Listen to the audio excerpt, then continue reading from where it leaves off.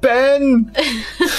Wollen wir jetzt jeden Part so begehen? Ja, zumindest, zumindest jeden, der, der noch in Jurassic Park 3 spielt. Ja. Ja, hi. Was? Wo? Hi, meine ich dachte, hier gibt's einen Dinos. Ah. ah. Oh, guck mal, ich kann graben. Äh, so, Ja, ich mach schon mal hier weiter, ne? mach du mal weiter. Aber jetzt brauchen wir dich. Was ist das? Das ist eine Stange. Achso, kann was- da kannst du ein Auto, Ja, danke für die Info. da kann ich ein Auto ein Auto holen. holen. Aber das bringt uns jetzt nichts beim Weitergehen, glaube ich. Sei denn, machst uns da den Weg frei. Ich guck mal, ich hol, hol mal ein Auto. Hol du mal. Uah, Wir haben auch nur eins freigeschaltet bis jetzt. geh weg. Lass mich in Ruhe. Komm, so, Natus. Mach uns mal hier den Weg frei. Ja, wie denn? Ja, weiß ich nicht, irgendwie muss das ja machen. Du musst vielleicht irgendwas bauen. Siehst du, da rollen so Dinger rum. Ja, ich würde gerne, aber die Kamera dreht sich nicht. verdächtig nach Guck Baumaterial. mal, was die. Kamera hier gerade macht. Das ist nicht schön. Oh. Oh, hau ab! Hau ab! Einmal mit Profis arbeiten. Ich kotze. Lass mich doch in Ruhe. So, was mache ich mit jetzt? Muss da, glaube ich, healen. So. Ah, guck mal, das sieht doch gut aus. Guck mal, der lässt mich sogar in Ruhe. Das ist Komm ich bestimmt nicht durch, ne? Ah, verdammt. Äh, Ich bin tot. Ah. Liegt da so der Kopf. ganz schön brutal. Okay, ich muss hier den Weg wieder frei machen. Ich überfahre einfach mal unsere Teammitglieder. Mach das. Wie kommen wir hier durch? Mit mir. Ellen! bin- Ellen! Ellen! Steve! Ellen! Steve! Alan! Was hast du denn hier noch vergessen zu bauen? Ah, da kommen die ganzen Konglomenatus-Viecher raus. Ach toll! So. Ich habe an der Kamera nichts umgestellt. Nee, die ist einfach kacke. Oh, geht schon weiter. Oh, geht schon weiter, ja.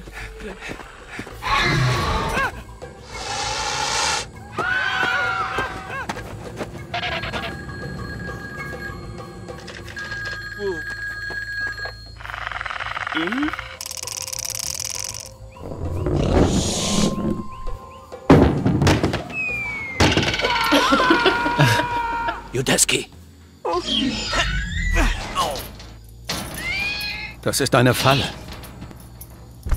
Sie haben uns eine Falle gestellt.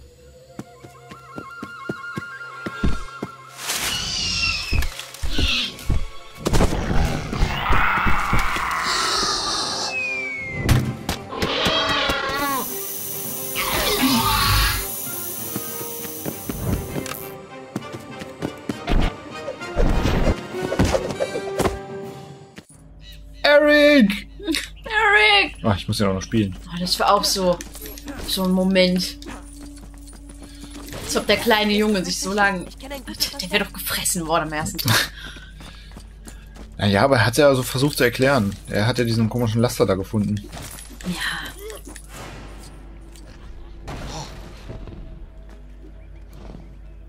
Halt! Ich schleich mich vorbei und lenke dann irgendwie ab. Das ist nicht seine Originalstimme. Aber dafür kann er das hier. Wuhu! Ja, das war auch so mit diesem Anzug. Ach nee. Jetzt sieht er mich nicht. Ist das nicht schön? Dieses Geräusch. Tada! So. Ich Hallo, ich bin hier immer noch. Ja, ich muss irgendwas bauen, damit ich den ablenken kann. Ich bin hier schon dabei. Guck mal hier, ein kleines Auto. Ach, ein Hotdog. Ein Ho äh, Ein äh, Hotdog auf Rädern.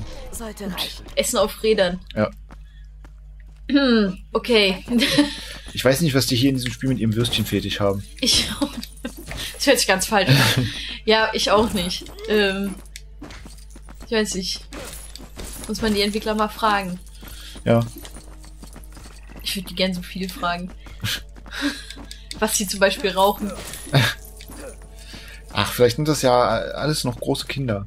Wahrscheinlich die sich überhaupt nichts Böses dabei denken, dass wir hier. Aber die, ja, aber die Spiele sind ja toll. Also die ja, machen ihren. Hier, du musst hier mal Dingens. Aber das ist doch, bin ich doch gar nicht. Doch, du bist Alan Grant. Hier meine ich, das meine ich. Da. Ich wollte sagen. Das vordere. Ja, das da können wir nicht aufmachen. Da kommt, glaube ich, nur wieder ein Minikit rausgeploppt. Kein Ding. Los, bring es an.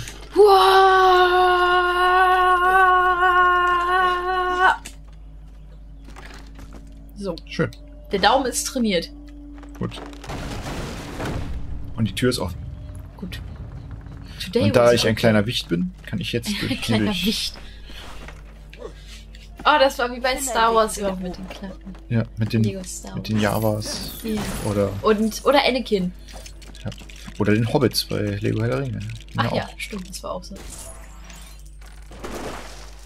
Da, bitte. Danke. Komm, War nett von dir.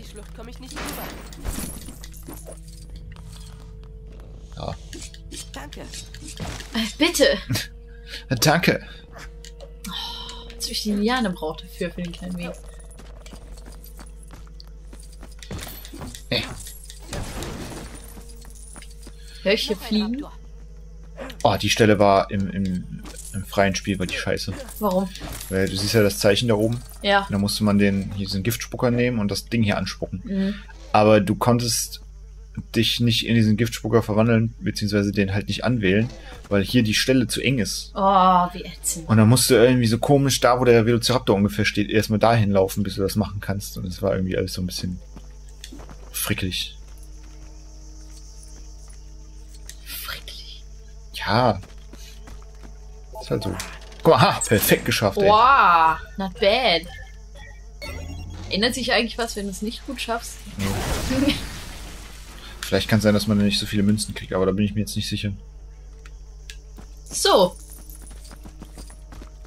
Gut, ne? Haben wir den mal hast weggelockt du, hier. hast du gut gemacht. Mein Kind. Okay, Danke, Opa.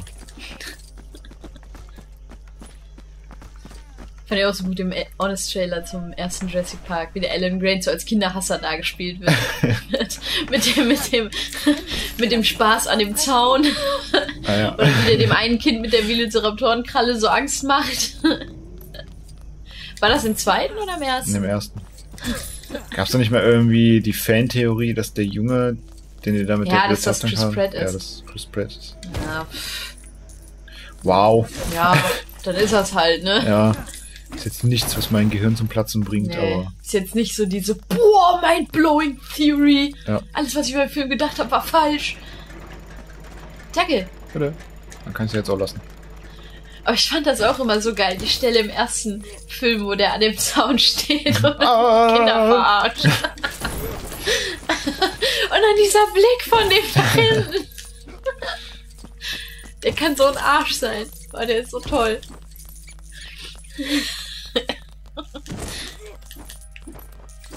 Aber die Kinder im ersten Teil waren auch nicht ganz so ätzend. Nur ein Nee. bisschen. Die, das, mit, das mit den nervigen Hollywood-Kindern, das kam erst später. Ja. Ist ja jetzt momentan in der ganz schlimmen Phase. Mit den Kindern hier von Will Smith zum Beispiel. Wobei über die Tochter weiß ich jetzt gar nicht so viel, aber Nein, der. Sohn ist ja furchtbar. der eine Wobei- Sohn, der hat ja noch einen anderen, von dem keiner was weiß. Echt? Also, ja, ich meine ich mein halt den Bekannten. ja, den, äh, Jaden. Jaden. Aber es, der hat ja noch einen Sohn, der ist irgendwie 25 oder so, aber den kennt keiner. Ja. Weil der irgendwie noch nie was gemacht hat, den Ach, hat Film. das vielleicht richtig gemacht. Der vergessene Sohn. Hm. Ich habe letztens noch einen Film mit dem Jaden Smith gesehen, wo er noch ging. Er war aber noch klein. Karate Kid. Nee, ähm, heißt es? Der Tag, an dem die Erde stillstand. Hm. Mit dem Mann, der nicht altert. Keanu Reeves. Ach so. Äh.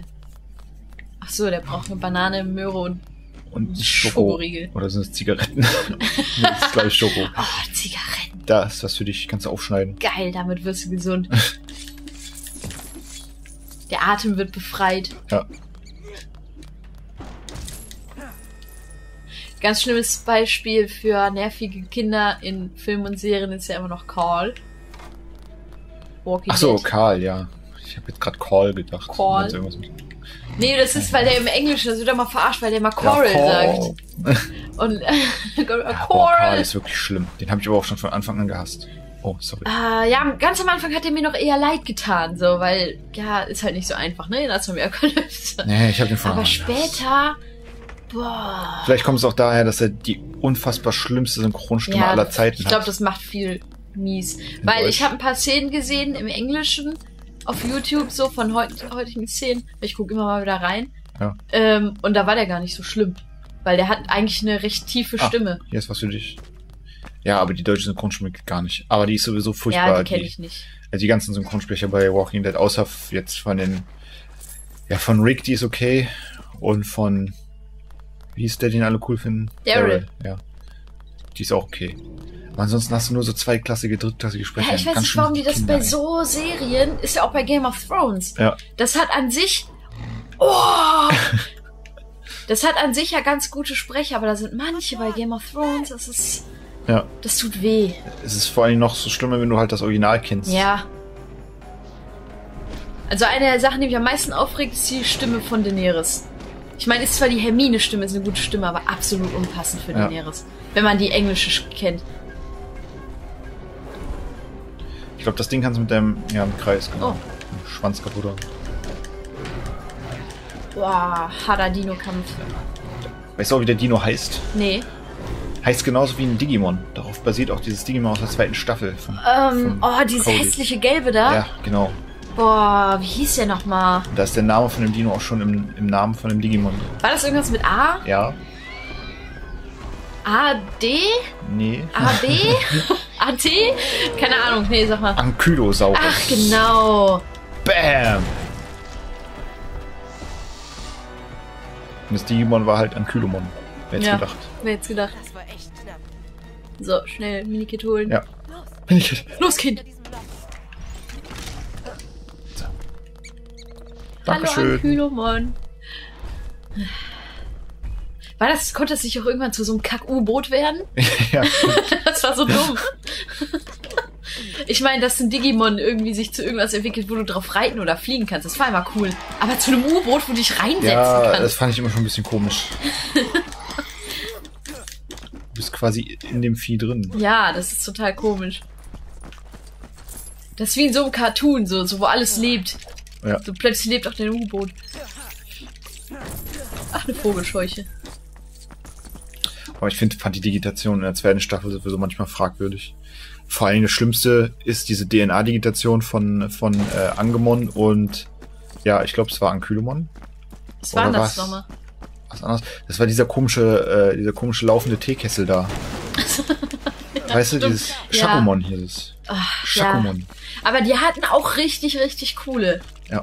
Dieses, ähm, ich weiß nicht, welche Digitation das war von Wemon, wo der dieses schwarze Vieh auf vier Beinen war. Redramon. Genau, das war richtig awesome. Flame Dramon war aber auch cool. Flame Ramon ist auch cool. Geht trotzdem nichts über die, die ersten. Nee. Ah, guck mal da. Subtiler? Hinweis. Ja.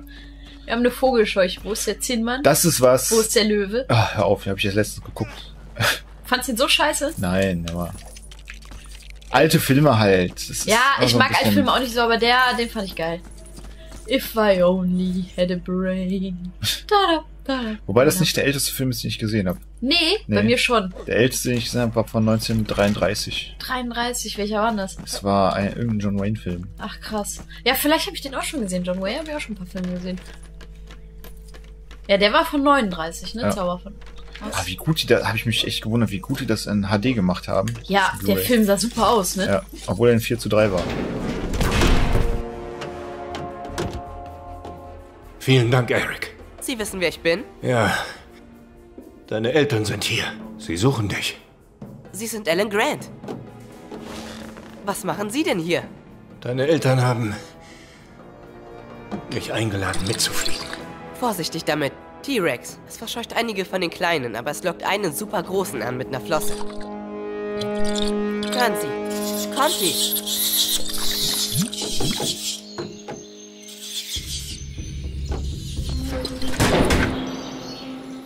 Ist es denn ein Remake oder ist es sowas wie Alice im Wunderland? Jetzt haben wir uns gerade verquatscht.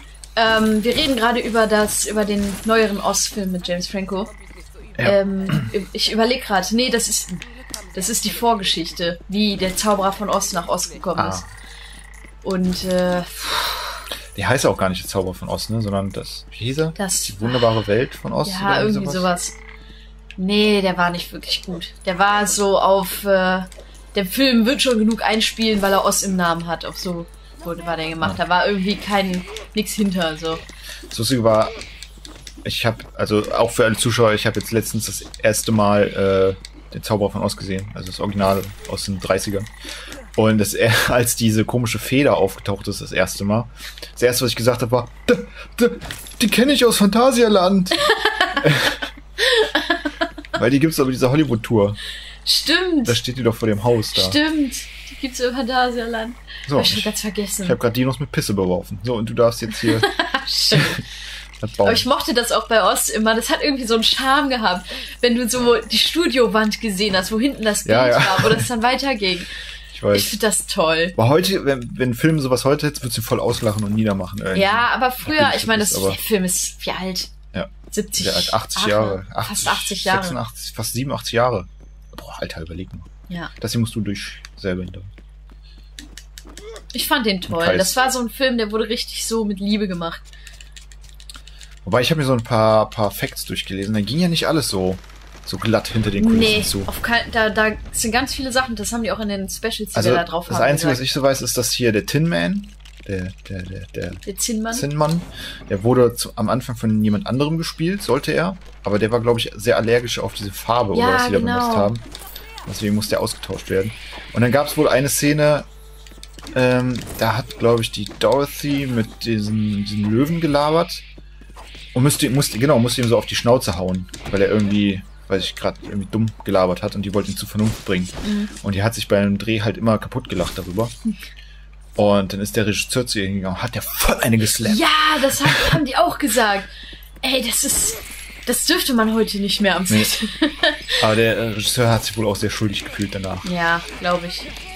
Aber das war auch, da war auch so eine Szene, kannst dich noch ganz am Anfang dran erinnern, wo man die böse Hexe das erste Mal sieht und dann verschwindet die in so einem Feuer. Ja, stimmt, da war auch irgendwas. Ja, das haben die gemacht mit Feuer und aber während das Feuer rauskam, wurde die hin und in eine Luke in den Boden gefahren. Ja. Das war echtes Feuer. Aber die Luke, die hat zu spät gezündet einmal und die Frau ist fast verbrannt. Oh. Die, ist, die hat noch ein bisschen Feuer ab. Also die hat keine Verbrennung oder so, aber die hätte fast. Ja, so war das damals. Das war schon heftig. Also, das, das sind Sachen, die. Ich glaube, deswegen sind Filme auch ein bisschen anders heute, weil du darfst sowas nicht mehr. Du darfst nichts mehr machen, was die Schauspieler in Gefahr bringt. Ja. Und deswegen wird auch so viel künstlich gemacht, weil das. Auch ein gutes Beispiel dafür ist, ähm, Texas Chainsaw Massacre, also der allererste aus den 70ern, Ja. wo der, er tatsächlich, der Typ, der den Killer gespielt hat, tatsächlich mit einer echten laufenden Ja. Kettensäge den Leuten hinterhergelaufen ist. das da gab es ja auch diese Szene. Ich weiß nicht, ob das Spoiler ist, ganz am Ende, wo der einfach so mit der rumschwingt und mit der rumläuft, mit der Kettensäge, Ja, die am Laufen ist. Und das war alles echt. ja. Der hätte sich mal eben so den Arm absäbeln können. Oder bei Star Wars mit den Laserschwertern. Oh, das war bestimmt gefährlich. Ja. Warte, ich muss da gleich dir helfen weiterzugehen. Ja. Ich glaube, das ist hier nur alles für ein Minikit gerade. Diese Schlangen sehen auch aus wie Würste, die sich da rumwinden. Oh, Schmetterling. Ja. Oh, guck mal da. Seit SpongeBob finde ich aber Schmetterlinge nicht mehr schön. Weißt du es noch?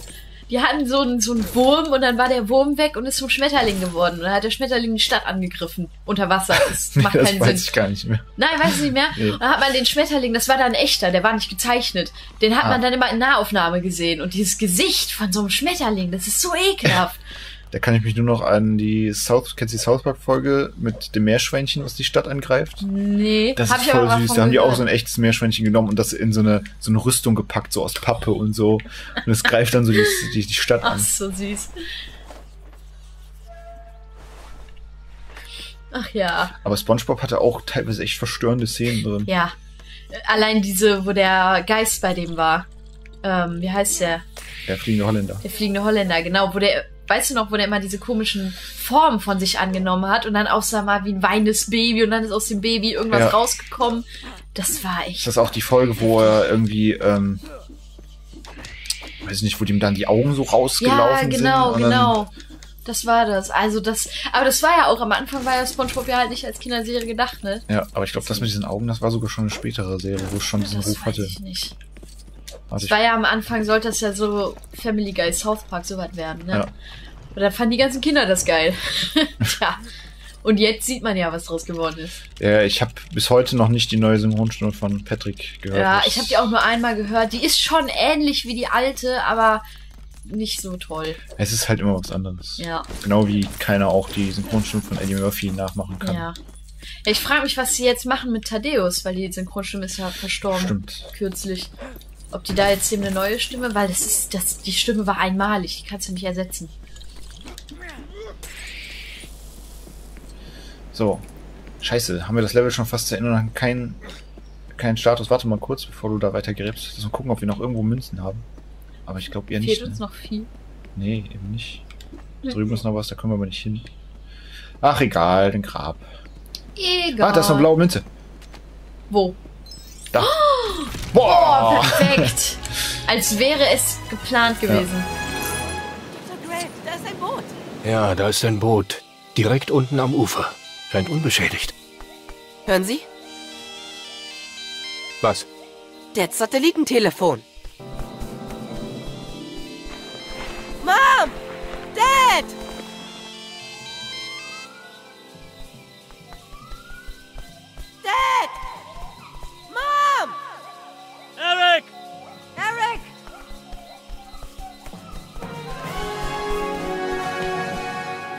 Wusstest du, dass wir hier sind? Das Telefon! Dieser blöde Jingle, ich hab's gehört! Ich hab's nicht. Nash hatte es zuletzt. Er muss es gehabt haben, als er...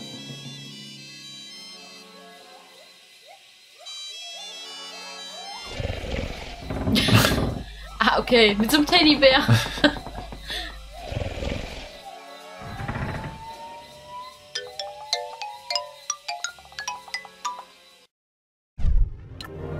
Ja, haben wir es Geschafft. Wir haben Eric. Eric gefunden. Boah, ich krieg immer voll, ich sahne immer voll ab, wenn ich hier bin. Ja. Was Trophäen angeht. Ach, den Ach, schön. Eric! gerade noch voll episch dann den 100% Status Boah. zusammenbekommen. Ja. Da, da, da, da, da, da, da. Nein! Ich glaube, wir haben nur eins, oder? Was hast du gemacht? Mein Ja. Kunstnagel ist abgegangen. Probleme einer Frau. Oh Mann, scheiße! Ich habe Sekundenkleber irgendwo. Oh, besser nicht. Nee, nee. Ellie Verdammt. Degler? Wer ist Ach ja, das ist die Ellie, aber die hat ja, ja, die Ach hat so. ja geheiratet neu und dann Ja, hat sie ja ja, einen anderen Namen, ne, und so, weißt ja. ich erinnere mich. Naja. Naja, So, dann haben wir jetzt noch ein Level und dann sind wir schon fertig mit Ja, Jurassic, das Wo ist äh, Ju- Jurassic Park 3. Und dann geht's in den Jurassic World. nein. Dun, da, da. Aber das ist jetzt im nächsten Part. Ja, Bis dann. tschüss.